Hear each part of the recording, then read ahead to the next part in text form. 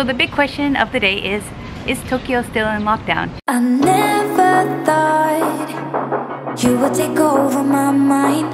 Cause I've been lost, but I'm giving you all of my time. Isn't that good enough? Changing my patterns a lot. Yeah, I never thought I'd be sitting here wrapped in your arms.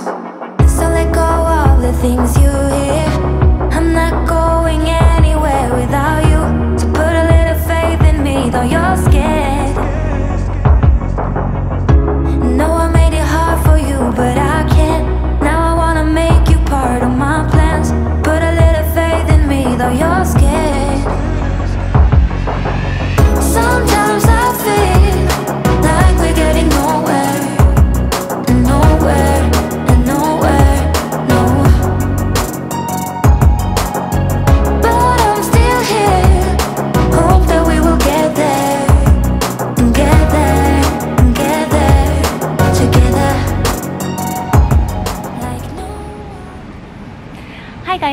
Amanda. So the big question of the day is, is Tokyo still in lockdown?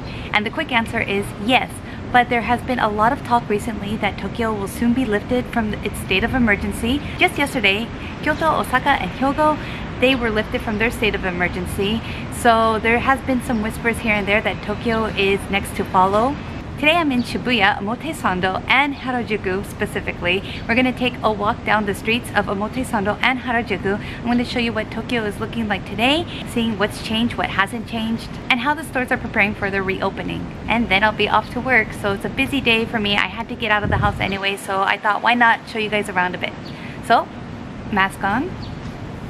Let's go. like no one else. You have a routine with your hair. You hide your face, but you're so pretty.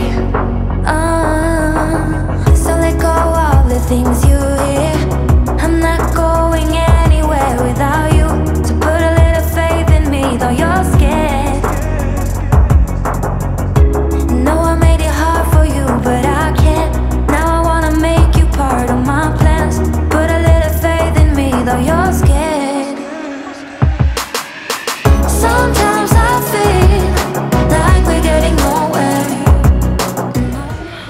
It's been the first time for me to vlog outside in so long.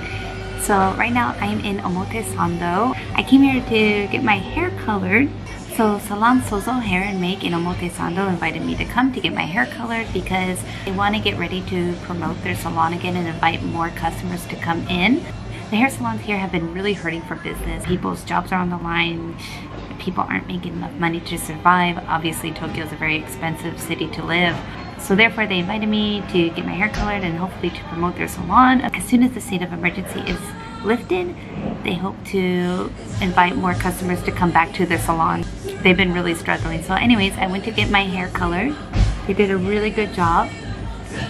And since I had work anyways and Omotesando was along my route to get to work, I decided to come here and check out and see what it looks like. I haven't been here in two months.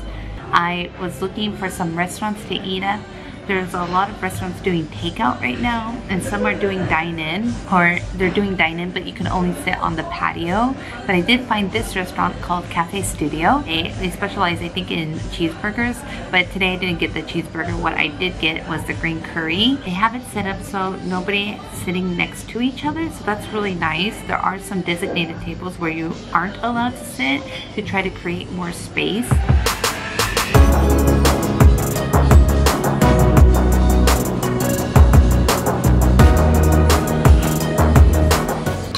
Got the seafood green curry. So obviously we've all been eating a lot at home recently and Yuki and I have got on this green curry kick. So we've been eating a lot of green curry and I'm used to like a big bowl of green curry and coming out and ordering out for the first time in a long time just to get a little mini mini bowl of green curry. I'm like, oh my god.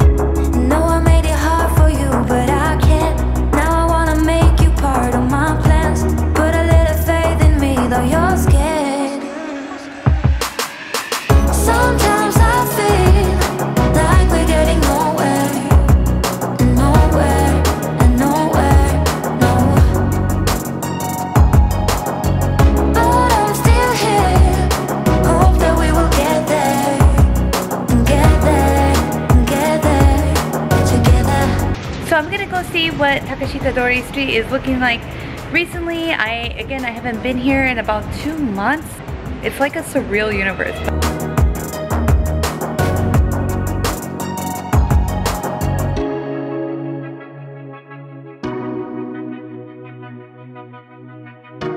So right now Starbucks is only doing to go. You can't actually stay inside and sit. They're asking everybody to please wear their mask, use hand sanitizer, keep distance between each other, and they have contactless payment so they don't have to, you don't have to give them cash.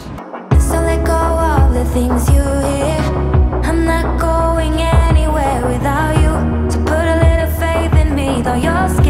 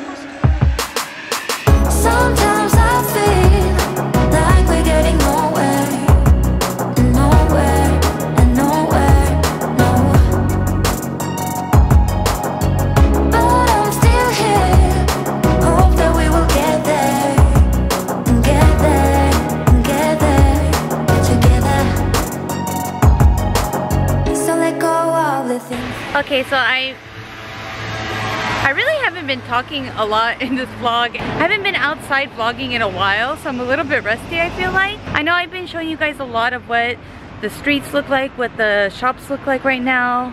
Like we just walked down Takeshita Dori Street and there's like a lot of things I noticed. A major difference is obviously most of the stores are closed.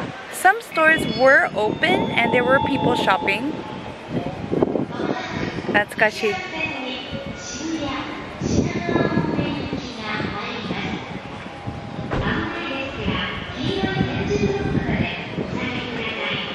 Okay, so this spot is too noisy. Hold on, I'm gonna find a quieter location. Nope. Maybe get away from the station. So as I was saying, I also noticed some security guards walking up and down that I didn't notice before. And I don't know if that's a new thing or not, but yeah, I just, I never noticed them before. It could have been that it was too crowded. I could be wrong. So there were security guards, things wrapped in plastic, most things are closed.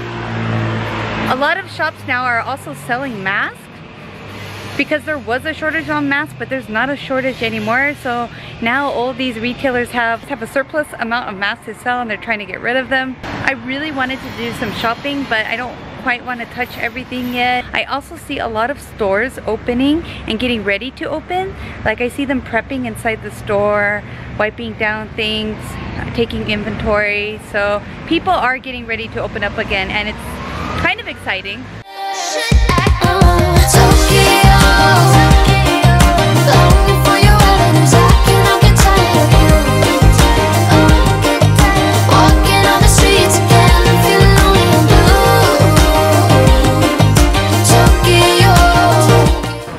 Okay guys, well that's it for my Tokyo update. What Tokyo is looking like today. Today being a day in May, actually I forgot what day it is. A day in May 2020. Uh, we walked around Shibuya, specifically Omotesando, Takeshitadori Street, Harajuku. Things still seem pretty quiet here, but you are starting to notice a difference. Stores are opening up again. Some stores are getting ready to open again. Of course, Omotesando, Shibuya, Harajuku, these are all really crowded, congested areas. So you're gonna not be able to avoid contact all the time.